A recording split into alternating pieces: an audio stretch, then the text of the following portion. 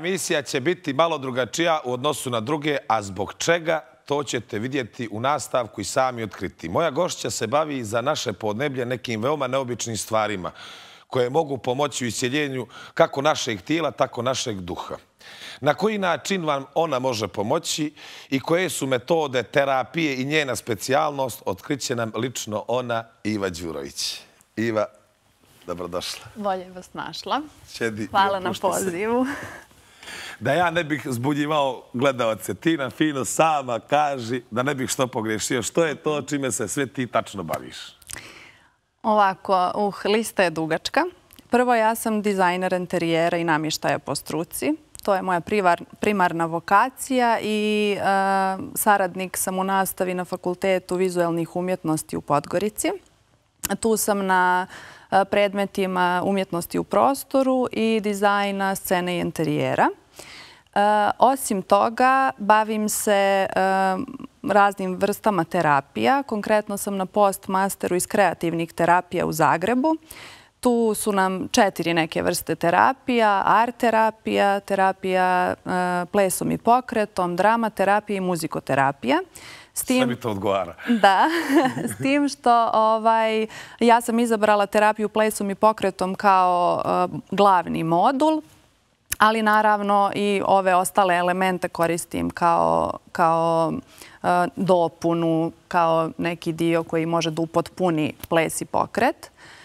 Osim toga, e, edukujem se i za konstelatora. Sad sam ovaj, skoro završila porodične i sistemske konstelacije, a edukujem se dalje za metakonstelacije. To je još dalje od ovoga gdje sam sad. U neku od mojih emisija ovaj, ugostio sam našu čuvenu Ljiki Kiki Riki Dubljević, koju, kako to da kažem, koleginicu. Pa me zanima, koliko ima interesovanja na našim prostorima za to čime se vi bavite? Imaju li ljudi razumijevanje? Znaju li uopšte što je to? Mhm. Pa I kako im objašnjavate što je? Mhm. Ovako, Ljiljana Dubljević je baš moja velika prijateljica i Ljiljana se vrlo razlikuje od mene. Prvo, Ljiljana ima stvarno neki dar sa kojim se definitivno rodila, a ovo čime se ja bavim je nauka. Tako da i slično je, mislim, ajde da kažem, slično pristupamo, zato što radimo i sa emocijama, i sa duhom, i dušom, i tijelom, Ovaj, ali definitivno da ovaj dio kojim se ja bavim je nešto što izučavam u školi, što je nauka. E sad, koliko je lako, uh, ajde kažem, prezentovati to, nije, zato što jednostavno mi uh, živimo u podneblju gdje to nije toliko prvo ni poznato, drugo, ljudi su dosta, da kažem, zatvoreni, ali idu ka tome da se otvaraju, tako da izazovno je u svakom slučaju. Tokom svog rada, si se srežela sigurno sa nekim predrasudama. Kako to, kako si to odbijala od sebe, tako da kako? Kako si se razila s tim predrasudama? Pa ja sam na početku, tako da još uvijek nemam neke velike izazove, ali pretpostavljam da će ih biti. Ovaj, međutim, mislim da jednostavno kad čovjek e, objasni ljudima i demistifikuje stvari kojima se bavi i objasni da je to nauka i da to izučava na fakultetu, da to nije nešto što je čiribu, čiriba, ovaj, već da postoje naučnici koji se time bave, da postoje profesori iz inostranstva.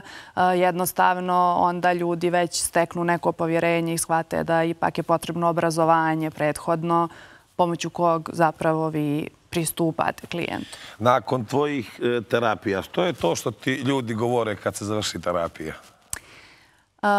Pa uvijek su komentari dobri, da sad ne kažem wow, ali stvarno da nije taj neki njihov odziv kasnije i neki feedback koji mi daju da im zaista je to nešto pomoglo, da su stekli neke uvide vezane za svoj život i tako dalje, sigurno se ne bih ovime bavila, pošto ja volim napredak. Samo još sam jedno pitanje, jer sam ovo na brzinu to pisao. E, imaš višegodišnje iskustvo u holističkom radu sa klijentima. Kaži nam što je zapravo holistički pristup liječenja. Mhm. Pa to je nekako sveobuhvatno liječenje.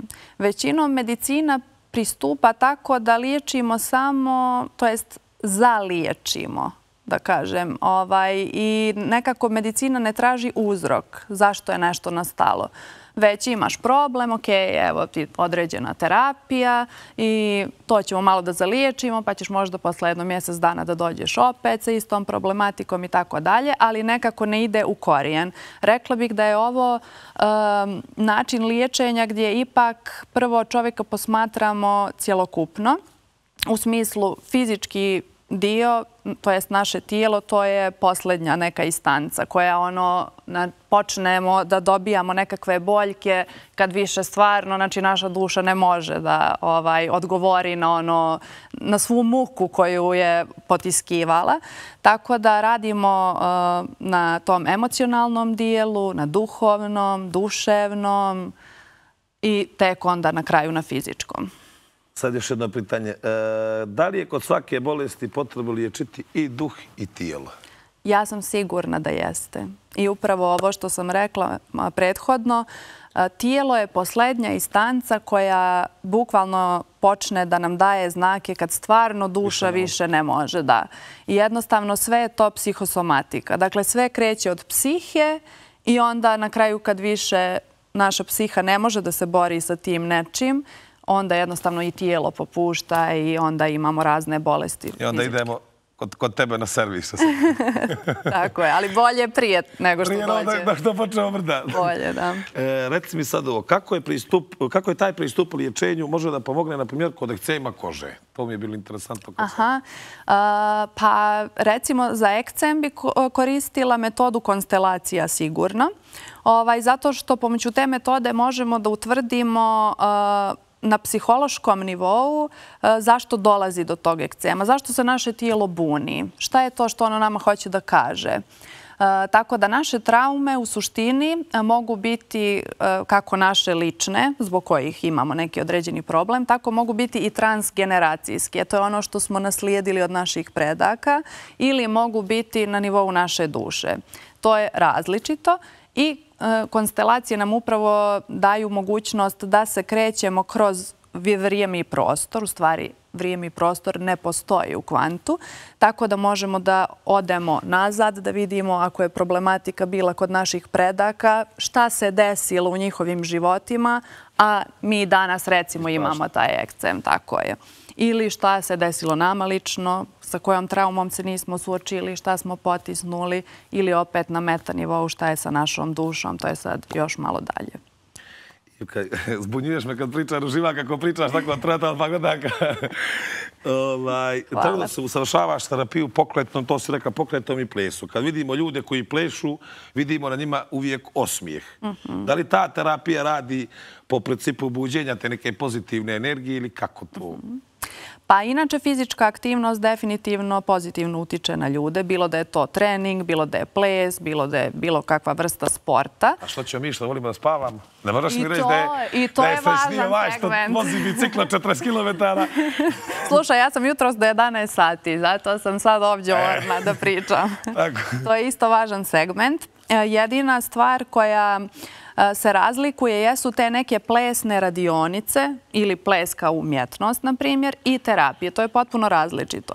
Ovaj, radionice obično može da vodi neko i ko nije terapeut i može da pozove ljude, da ih stimuliše da oni plešu i sigurno da će se serotonin proizvesti, jel tako i da će ljudi izbaciti iz sebe dio stresa i pozitivno će uticati na njih, pardon, sigurno. Ovaj, a terapija je nešto malo drugačije. Terapije radimo sa ljudima kojima znamo, ajde da kažem, diagnozu ako je imaju i terapiju koju primaju ovaj, ili neki dio problema i onda imamo određene ciljeve ovaj, koje želimo da postignemo kroz ples i pokret. E sad, kako sam već objasnila, tijelo pamti sve, Znači, pamti i to transgeneracijsko, pamti i šta će biti u budućnosti, ako je to možda malo teško da shvatimo. I onda ovaj, pomoću tijela kao instrumenta mi zapravo uh, pomažemo klijentu Jer, evo recimo, ti sad dok nešto govoriš, jel tako ti razmišljaš šta ćeš reći? Ja baš da razmišljaš ću reći. Nisam ti ja. Ja razmišljam. Mogu da odmjerim tačno šta ću da kažem ili šta neću reći. Ali, na primjer, gestikulaciju koju koristim ili sad posturu moju kako je postavljena, teško da baš i o tome mogu da vodim računa. Tako da to nešto naše podsvjesno u stvari skroz se kroz naš instrument tijelo prepozna i onda terapeut to čita i onda radimo određene stvari sa našim tijelom kako bismo mogli klijentu u stvari da pomognemo. A reci mi sad, ti si dizajnerka, upisala si. Kako si ti s dizajna završila u to? To Kako ti se rodila, rodila ta ideja, ljubav i to da budeš tako i uspješna i u svemu Hvala. tome, a bukvalno nisi po, po dizajnu si počela se baviš i skrenula, kad kažem skrenula na lijep put. Kako ti je to se javilo? Pa mislim da neko ko se bavi dizajnom mora da bude svestran, da ga interesuju raznorazne stvari, da bi prosto bio uspješan u tome. Jer to je e, nekako branša koja obuhvata razne stvari. Znači, moraš biti prvo i praktičan. Meni je, recimo, otac e, elektroinženjer, pa onda imam, da kažem, jedan njegov dio urođen, e, onako, sistematizaciju jednu, jel? Imaš glinaricu ko sebe, da? Da, bukvalno. A mama mi je recimo umjetnica, tako da od nje mi dolazi taj neki kreativni dio. Ovaj, i, I sad cetinja si? I sad cetinja sam, dolazi, što e, je tako. genijalnost Kad je lijepa odmah. podloga. tako je, šalim se. Ovaj, uticaj lipa, što kažu, E. jel, malo. Ali uvijek su me interesovala nekako pitanja zašto ja postojim ovdje, šta je moja svrha. I onda jednostavno kroz svoj rad, prvo kroz rad uh, dizajn, interijer, počela sam pomalo da izučavam i vastu arhitekturu i taj uticaj prostora na čovjeka. Pa je onda otišlo to dalje. Prosto imala sam neke svoje lične izazove koje, za koje sam tražila odgovore. I tražeći te odgovore, polako sam u stvari se preorijentisala da ja to izučavam normalno primarno zbog sebe, svoje porodice, a sad već mislim da nekako sam spremna da mogu da pomognem još nekom ko ima neke određene izazove. Tako da... Možeš li mene pomoći? Može mene, mene Mogu. pomoći nema. ima, ima. Dolaziš i pomoći Ivka, ću. samo da bi bilo jasnije gledat. Znači, pored svega o čemu smo pričali, završila si edukaciju za porodične, sistemske i metakonstalacije. Pojasni nas što su to konstalacije, da bi gledalci znali. Ovako, vrlo je teško objasniti dok čovjek ne dođe, ovaj, jer ja sam recimo pročitala prije nego što sam otišla na terapiju nekoliko knjiga i mogu da kažem da mi nisu nešto mnogo pomogle, zato što jednostavno to je, e, to je vrsta terapije koja je fenomenološka i vrlo je slična, recimo, psihodrami. Evo, ti si glumac i pretpostavljam da znaš kako otprilike psihodrama ili sociodrama izgleda. S tim što ovdje imamo još jedan, da kažemo, dublji moment, a to je taj e, energetski. A, ali evo objasnit ću nekako, uzet ću neki primjer najbanalniji da ljudima to donekle može da bude jasno. Naprimjer, klijent dođe sa nekim svojim problemom. Šta god taj problem bio. Ja kažem izazov. Ne volim da kažem problem, nego izazov, jer kroz izazove nekako rastemo. Recimo, odnos sa majkom. I klijent dođe i kaže mi samo jednu rečenicu. Tipa, Iva, ja imam problem sa svojom majkom, na primjer. Naravno, taj problem može da bude šta god. Može biti fizička bolest, može biti neka trauma, šta god. I ja kažem dobro. I naravno, tu imamo još nekih ljudi koji su došli zbog svojih nekih izazova. Ovaj, I zamolim klijenta da odabere jednu osobu koja će da predstavlja njega tu u polju bez da kaže toj osobi šta će ona biti, samo da je energetski postavi da će igrati nju. Pa majku njegovu, neko drugi, jel tako, i još neke karike koje su nam važne za, za razrešavanje tog problema. I onda se vrati na mjesto i gledamo kako te karike, to jest ti ljudi, jel tako, koji tu igraju uloge, kako se oni međusobno kreću, e, šta jedni drugima govore, kakva je tenzija između njih? Ili nema možda tenzije, kakvi su ti neki odnosi, kakva je konstelacija, je tako, među njima. I onda polako počinjemo da uočavamo neke stvari, neke disbalanse, da li energetske, da li neke tajne možda koje se razotkrivaju i tako dalje. I u zavisnosti od problema i od onoga kako polje pokaže, idemo ili u pretke, ili radimo lični rad, ili radimo na nivou duše. I da kažem, ajde pomoću tih glumaca, nazovimo ih tako, a to su ljudi koji su isto došli ovaj, po svoje neke odgovore, ovaj, pomoću njih mi u stvari polako ovaj, tu konstelaciju dovodimo u balans i osobu koja je došla sa određenom problematikom postavljamo da se lično suoči sa tim nekim izazovom. Odakle njemu je zapravo počeo problem. Tako je, da. Ili izazov, što bi Ili izazov. Iva, napravit ćemo malu kratku pauzu muzičku. Dogovoreno.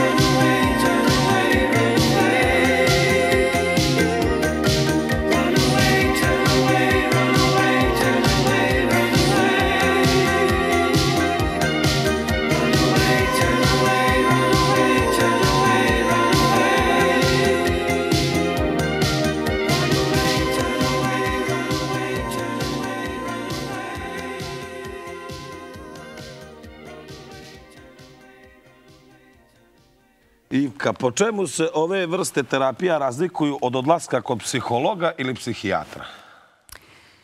E, pa, psiholog i psihijatar uh, baš su različiti svakako, ovaj, ali evo da skratim najviše, možda zato što upravo imamo tu priliku da bavimo se našom e, genezom, to jest da znači idemo u prošlost i da prosto iscijeljujemo neke stvari koje mi na svjesnom nivou uopšte ne znamo da su se desile. To je, ajde kažem, neka najveća možda prednost. I definitivno to što tražimo uzrok problema. Dakle, ne zaliječujemo, već tražimo sami uzrok koji balansiramo, dovodimo do te harmonizacije energetske i nakon toga klijentu će sigurno biti bolje. Kako ljudi da znaju što će bolje pomoći njihovom problemu i kome treba da se obrate? Pa mislim da nije svaka metoda za svakoga i da čovjek treba da proba svakako više nekih ovaj, metoda, e, da ne kažem terapeuta. Moje mišljenje je da je jako važno povjerenje. Jer, e, na primjer, može neko dode recimo da proba konstelacije, na primjer, kod nekog određenog terapeuta i da mu to nikako ne legne. Njegov način rada, on kao ličnost i tako dalje. Jer svi smo mi dovoljno dobri terapeuti nismo savršeni, nismo nikakvi bogovi, mi smo ljudi, imamo naše izazove. Tako da najvažnije je u stvari to povjerenje i nekako energetski da se povežemo. Evo ako koja i ti sad što smo se povezali. Ulaži ti to meni. Šalim. Inače sam htjela da ti dam jedan mali poklon. Mene? I jednu majicu, tako je. Ovo je naš logo, dovoljno dobre terapije. Hvala, Ivka. Kao što smo mi dovoljno dobri terapeuti. Hvala. Nisam navika da dobije poklone, ali hvala. Mada sam dobio i od Bata Darca i dobio sam dva, tri puta u emisiju. Šta sam ja zbunila s poklona, što ću da te pitam? E, to me interesuje. Koliko traje, naprijed, koliko, taj, koliko je konstalacija ili tak terapija potrebno? Znam da zavisi to od izazova, nećemo reći problema, ali koliko, na primjer, ovo pitan zbog gledalaca, možda neko osjeća neki nemir ili zna da ima, koliko to traje, koliko tih konstalacija njemu potrebno? Koliko... To baš zavisi od e, izazova do izazova. I najviše, e, u stvari, zavisi od toga koliko je neko spreman da se mijenja. Što je taj prvi korak što trebaju ljudi koji, kako da prepoznaju da imaju problem uopšte? Što ti kažeš malo prije, imamo nešto u sebe, a nismo ni svjesni to. Kako, koji je prvi korak da ljudi probude i da kažu, aha, čekaj, možda bi ja treba da... Pa najprije su to neki paterni koji nam se dešavaju. Kroz različite nekakve teme. Naprimjer, partnerski odnosi. Recimo kao neko uvijek bira, ne znam, zauzete osobe ili šta god. Znači ima neki pattern koji mu se stalno ponavlja. Čim to uoči, znači da postoji neka problematika zbog koje se to dešava. Mam ja problematiku što mi se sviđaju sve lijepe žene. Pa mislim da to nije problem. A, dobro. Rekao da dođe na konstelaciju. To nije problem. To podržavamo. Šalim. Dobro, to sam mi odgovorio. Sada imam. Da li se konstelacije rade individualno ili u manjim grupama? Konstelacije se rade i individualno i u grupama. Ne bih rekla malim, ja radim u velikim grupama. Što više ljudi dođe, više imamo karika koje možemo da postavimo u polje. S tim da ja ne praktikujem da radim konstelacije jedan na jedan, zato što kad radimo jedan na jedan, to se radi pomoću nekih objekata koje postavljamo u prostor, pa vidimo kakav je njihov položaj. Ali prosto neživa, to jest stvari, nemaju mogućnost da nam nešto kažu, da nam objasne kakav je njihov osjećaj.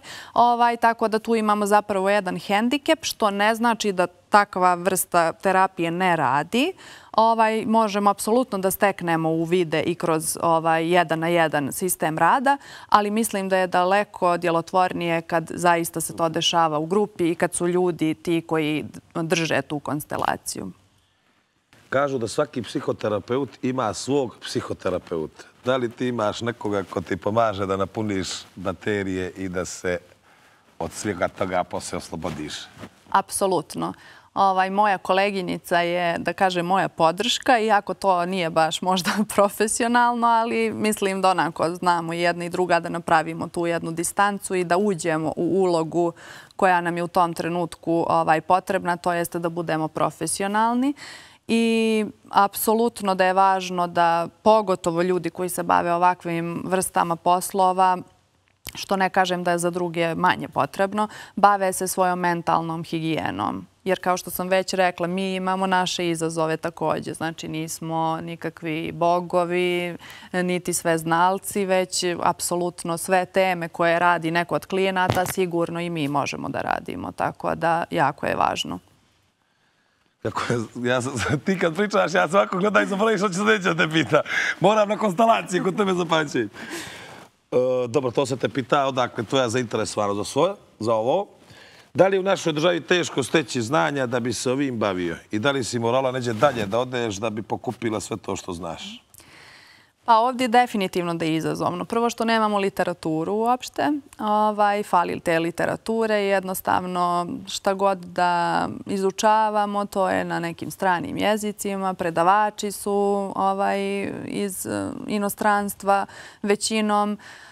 Što se tiče plesa i pokreta, arta i ovih e, terapija, znači u regionu Hrvatska je jedina koja zapravo ima ovaj mogućnost edukacije, a konstelacija što se tiče, znači to sam u Beogradu ovaj, edukovala se i u Crnoj Gori nema niko ko se bavi edukacijom. Ima konstelatora, ali nema ljudi koji edukuju dalje ljudi. A zašto? Će li ih biti, što misliš? Pa ja se nadam jednog lijepog dana. Ima li interesovanja kod, na primjer, da ti si mlada, kod mlađih ljudi za to? Da možeš kroz sebe, jer si ti čudovišta, kad bi ovako, kad kažem čudovišta u pozitivnom smislu, čudo si i to i to. Malo je ko tako da sa dizajna pođe toliko daleko u to. Ima li interesovanje kod mladih ljudi za to? Pa mislim da ima. Mislim da ima sve više. I dalje smo jako zatvoreni što se tiče svih ovih stvari. I dalje ljudi smatraju da ta neka, ajde kažem, alternativna medicina ovaj, je nešto čudno, prosto nismo navikli, mi nemamo u kulturi takav vid ovaj, načina e, načina ovaj, ponašanja prema sebi, ali mislim da nekako polako se otvaramo i da ljudi sve više i više shvataju da moraju da traže neke odgovore. Ivka, sigurno si tokom svog rada prisustovala mnogim emocijama. Da li je nešto, nešto što posebno pamtiš? Pa pamtim onako dosta nekih seansi koje sam radila, ali mogu da kažem da najviše zapamtim te muške suze koje su kod nas nekako tabu tema. Jer obično ovdje su muškarci vaspitavani da ne smiju da plaču, da ne smiju da pokažu nikakvu emociju i tako dalje. I smatram da je muška populacija hendikepirana što se tiče tog dijela. Ja plaćem, da znaš, ovo me nego dati, ja plaćem. To je predivno. Ovaj, tako da... Oko prvoga sad ti u suze. Kad me stizu krediti i to... Dođi da plačemo zajedno. Do treće ste da ovakve su mi oči. Dođi da plačemo zajedno. ovaj, tako da, obično nekako te muške suze, jer nismo navikli na njih, budu naj ajde da kažem, najteže, ne samo meni, nego i ljudima koji budu tu na terapiji. Iako, naravno, u hijerarhiji jednake su i ženske i muške suze, ali eto, pošto smo tako vaspitani nekako, ove su ređe, da. Napravit ćemo još jednu muzičku pauzu i još jedno peša 7-10 pitanja i onda te pušta Milka. Dogovoreno. Lazili ljudi koji na prvu loptu nisu baš sarađivali i možda ošiđivali to što radiš. Kako im pristupiš?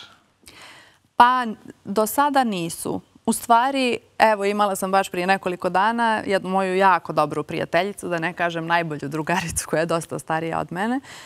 Ona je recimo došla na konstelacije da vidi kako to izgleda, ali recimo nije htjela da radi svoj lični rad, iako vjerujem da ima povjerenje u mene jer se družimo. E, možda neki strah ili nešto je preovladalo njome i jednostavno to je nekako bilo strano.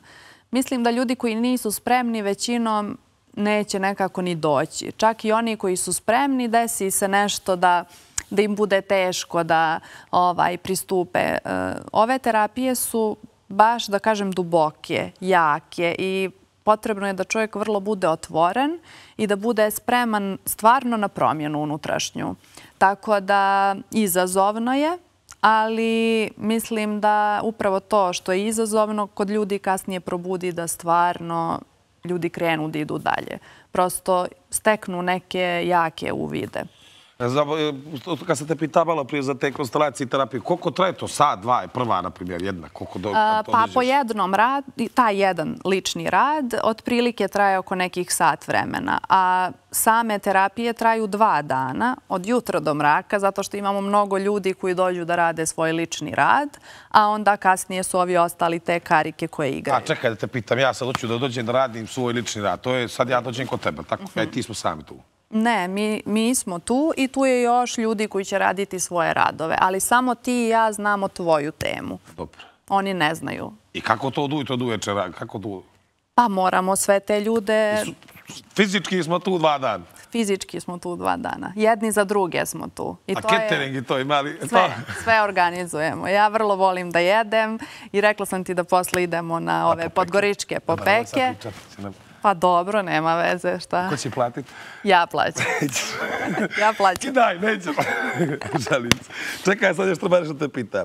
Kako se u situacijama postaviš e, da im ipak uliješ povjerenje?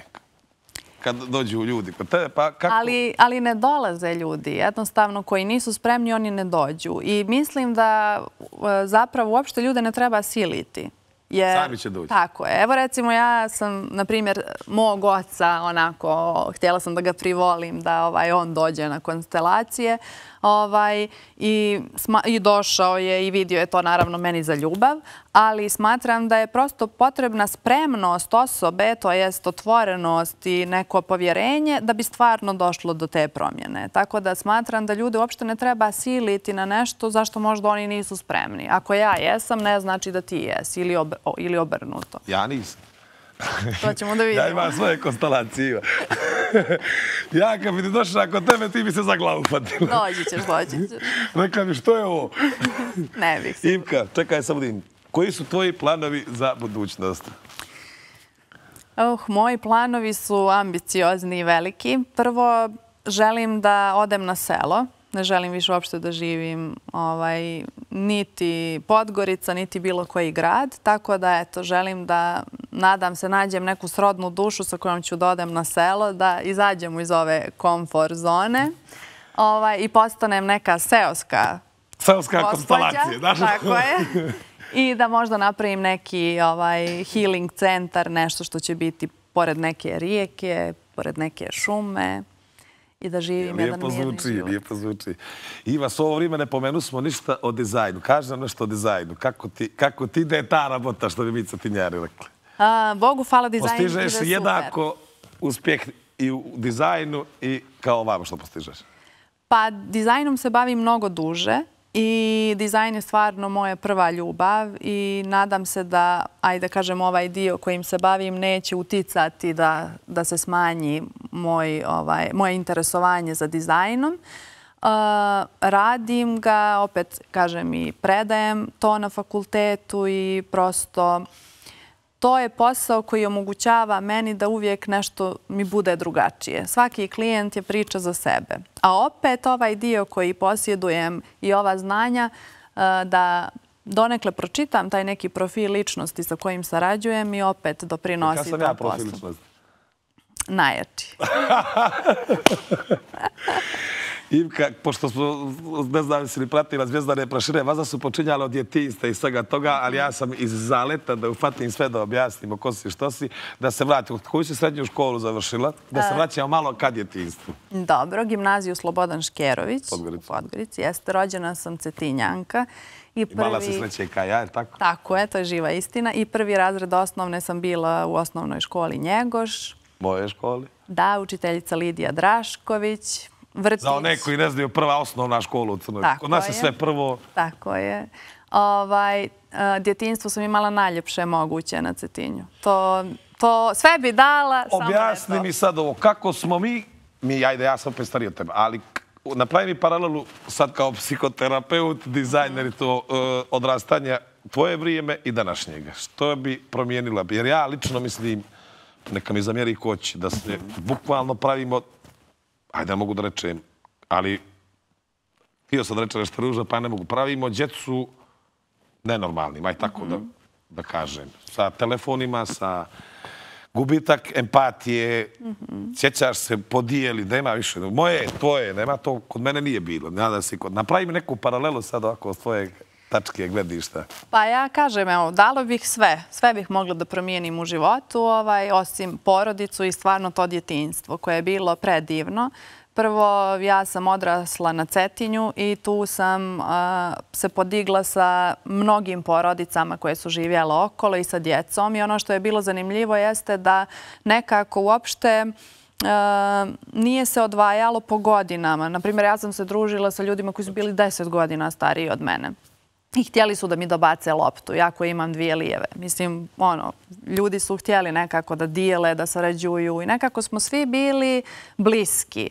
I ja znam, ja sam inače strašno voljela muziku i uvijek, ono, otac mi je kupio neki muzički stub, uvijek je to bilo ovaj, djece koja su dolazila da svi zajedno nešto igramo, pjevamo, opet crtamo, pravimo. Ovaj, imali smo igre koje su, ono, prosto bili ili lastika neka obična, pa se zaigramo čitav dan. Ili tan, tan, muškarci su. Ili kule, to recimo, ja mislim, nema čak nigdje da je to cetinska igra.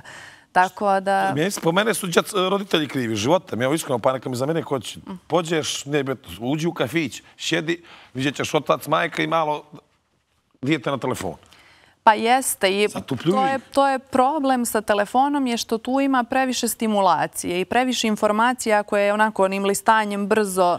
Moram da ti kažem, a ti si to vjerojatno i čula, sad su, kako su, digitalni autizam, znači bukvalno su diagnostikovali taj problem kod djece. Pa to je upravo to, prevelika stimulacija, e, stalno iskače nešto novo, nekakva iznenađenja, sve ide previše brzo i djeca jednostavno kad gledaju taj sadržaj, oni više nemaju porivni da progovore, na primjer. Sad djeca mnogo kasnije govore nego što je to nekad bilo. Upravo zato što konstantno vrte te telefone, slušaju te nekakve glasove i tako dalje i komuniciraju na taj neki način koji je prosto nov, Zato ja bježim na selo. Da znaš, ja ću gdje na selo. Sve mi se potrapilo. Eto, eto. Šali se to sad planirala, to kad će biti, ne znam. Pa dobro, polako. Ivka, što još da te pitam, a nisam te pita, zaista te pita, o što još da te pitam. Da poruči, volim pred kraj, e, da poručimo nešto mladim ljudima, mladim konstalatorima, Dobro. dizajnerima. Što bi poručila mlađim ljudima mlađoj generaciji kako da budu ili bar da krenu da budu katiji? Ne bih im preporučila da budu kao ja, zato što očigledno sve ovo što ja izučavam i radim i toliko sam se dala, tome sigurno bježim od nečega. Ovaj, jer isto ta tolika okupiranost nešto sigurno znači. Ovaj, ali bi im poručila da budu hrabri, da budu svoji. Da plaču, muški? Da plaču, obavezno. To je da imaju sve moguće emocije i da upoznaju sve moguće emocije. Mislim da ljudi prepoznaju možda 5-6 emocija, ima ih 200 i ne znam koliko. Ovo sam sad slagala. Toplo, hladno, gladna želj, da grevate sve većina oko nas. Tako da, ovaj, da budu hrabri, da ne razmišljaju o tome koliko imaju godina, da li su do tad nešto ostvarili ili nisu, da prosto idu za onim što im prija, ovaj, da vode računa o mentalnom zdravlju, jako je važno, pogotovo danas, i da budu srećni, da vole, da budu široki. To. Iva, hvala ti što si e, odvojila vrijeme da budeš dio zvijezdane prošine. Ja sam lično uživa u društvu. Kad god poželiš sa novim bilo kojim projektom i bilo čim, vrata su ti uvijek otvorena. Hvala ti i hvala čitavoj tvojoj ekipi koji su me ovdje podržali jer sam se ja za malo nesvijestila ljudi ovdje kad sam došla. Tako da još jednom hvala na pozivu puno. Dragi gledalci, ovo je bila Zvijezdana prašina i Ive Đurović. Do gledanja.